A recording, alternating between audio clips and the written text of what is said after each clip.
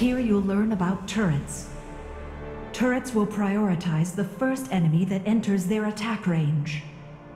You will take heavy damage if you attack a turret by yourself. Let minions take damage for you. Your minions are taking the turret's fire. Now is the time to attack. When you go near a turret, you will see one of three colored circles on the ground. The colors indicate how the turret will behave. Green. The turret is attacking other units. You won't be attacked if you enter its range. Yellow.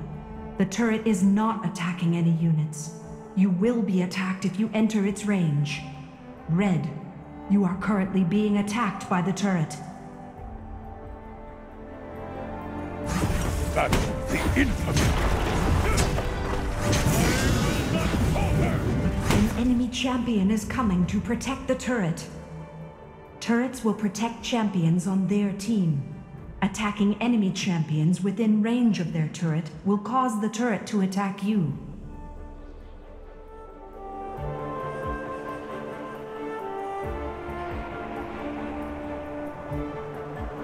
New mission.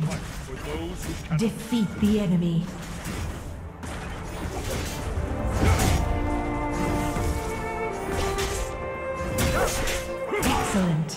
Let's keep going and destroy the enemy turret.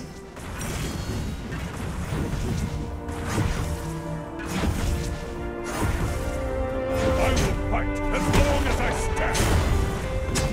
Congratulations. Now try it in a real match.